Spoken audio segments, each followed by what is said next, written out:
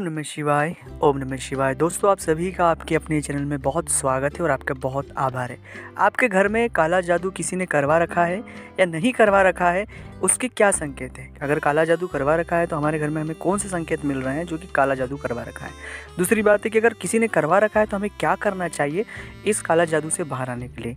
और पहली बात तो बहुत से लोग इस विषय पर मानते ही नहीं कि काला जादू होता है, नहीं होता है।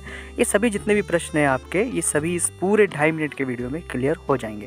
वीडियो को पूरा देखना, चीज़ों को बहुत बारीकी से समझना ताकि आपको बहुत सी चीज़ें समझ आ जाए और आप इस परेशानी से बाहर आ जाए।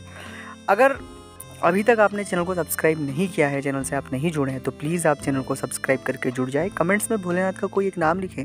हर हर महादेव, जय शिव शंभू, जो आपका मन हो आप नाम लिख सकते हैं। और अगर पूरा देखने के बाद वीडियो अच्छा लगता है तो वीडियो को लाइक करना, तभी चैनल को सब्सक्राइब करना। और हाँ दोस्तों, अगर अपनी कुंडली का एनालिसिस आप हमसे करवाना चाहते हैं, अगर जीवन में कोई तकलीफ़, परेशानी, कोई तनाव, कोई डिप्रेशन या कोई प्रश्न जो आपको वर्तमान में परेशान कर रहे हैं भविष्य को लेकर तो स्क्रीन पर नंबर चल ही रहा है व्हाट्सएप पर अपॉइंटमेंट लेकर हमसे बात कर सकते हैं। उसका फ़ीस उसका शुल्क लागू है दोस्तों। तो आए व्हाट्सएप पर अपॉइंटमेंट ले और एक बार ज़रूर बात करें शायद आपकी समस्या का समाधान आपको यहाँ मिले एक सकारात्मक तरीके से।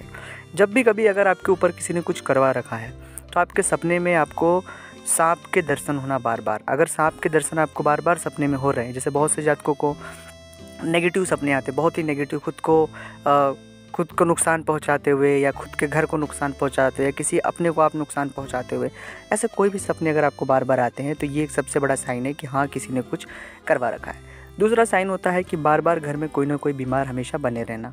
एक अच्छा होता है, दूसरा बीमार हो जाता है। घर में लक्ष्मी का नहीं टिकना, ऐसे सबके घर में नहीं टिकती लक्ष्मी, लेकिन आपके यहाँ तो एक ऐसा है कि पैसे आते भी हैं और उस दो गुना तरीके से चले जाती बार बार कर्ज बढ़ जाना और हम बहुत नेगेटिव बहुत नेगेटिव और बहुत नेगेटिव हो जाते हैं।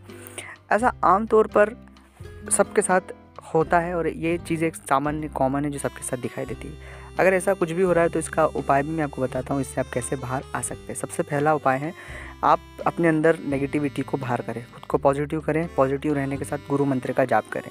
दूसरा अपने घर में बजरंग बाण, हनुमान चालीसा का रोज़ सुबह और शाम पाठ करना शुरू करें। अगर आप बजरंग बाण और हनुमान चालीसा पढ़ेंगे तो बहुत फ़ायदा होगा और सबसे महत्वपूर्ण है, गीता का अध्ययन करें, गीता का पाठ करें।